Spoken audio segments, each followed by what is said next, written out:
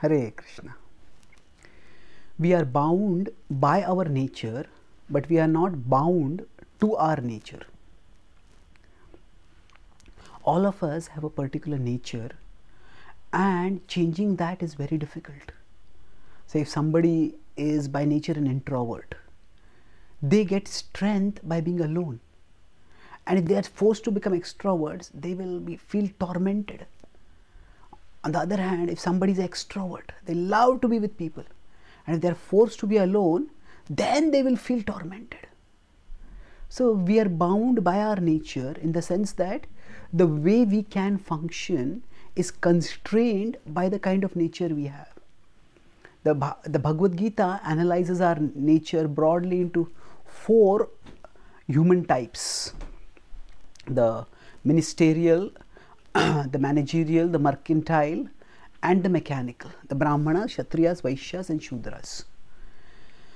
At the same time, when it says that we are bound by our nature, it also says that we have freedom to act for a higher purpose according to our nature. That means, if we consider a rope that binds someone to a pole, now that rope prevents that person from moving their hands with complete freedom. But if the pole is a light pole and they can uproot that pole and they can run.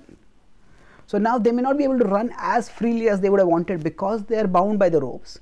But still they can move in a particular direction even with the rope and with the pole. So they have freedom but it is limited. So similarly what all we can do is limited by the nature that we have.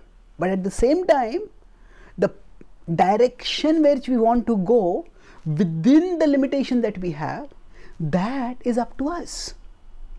So, uh, some person can run towards freedom, some person can stay where they are when they are bound to a pole, but if they can uproot the pole, some people can go in a direction which might take them closer to their captives.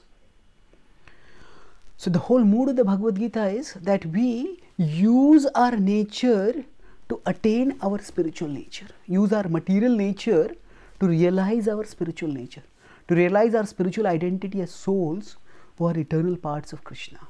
So, Krishna in the Bhagavad Gita in the 18th chapter talks about the division of society into various occupational duties according to one's nature.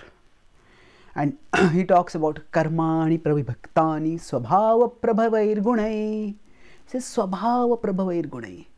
By the qualities that are born of material nature, society should be divided into various various occupations. And then after describing these occupational divisions from 18.42 to 44, in 18.45 he assures स्वे स्वे कर्मण्यभिरतः संसिद्धिं लभते नरः स्वकर्मनिरतः सिद्धिं यथा विन्दति तशृणु that with, according to each person's nature they can work so that they can attain perfection and how does that happen the next verse says that by swakarmana tam abhyarcha by working in a mood of worship by striving to serve krishna uh, through our work, by spiritualizing our consciousness, by making Krishna the goal of our life, we can move towards Him steadily with whatever nature we have.